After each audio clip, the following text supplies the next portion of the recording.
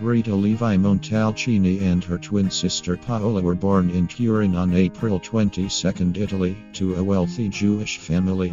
Her father was an electrical engineer and mathematician, her mother an artist.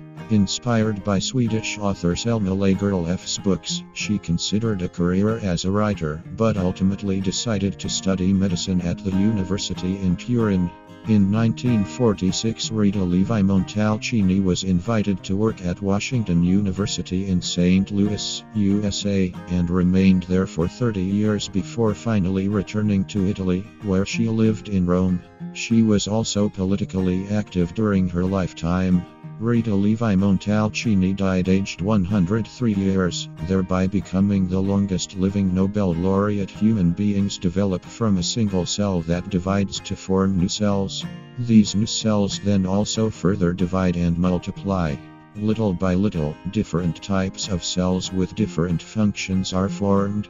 Rita Levi Montalcini has contributed to our knowledge of how this process works. In 1952 she succeeded in isolating a substance harvested from tumors in mice that caused vigorous nervous system growth in chicken embryos.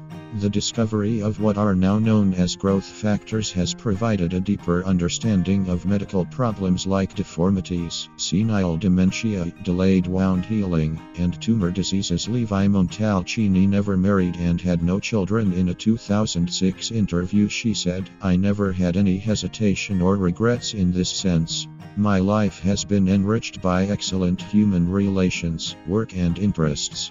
I have never felt lonely. 46. She died in her home in Rome on 30th December 2012 at the age of 103.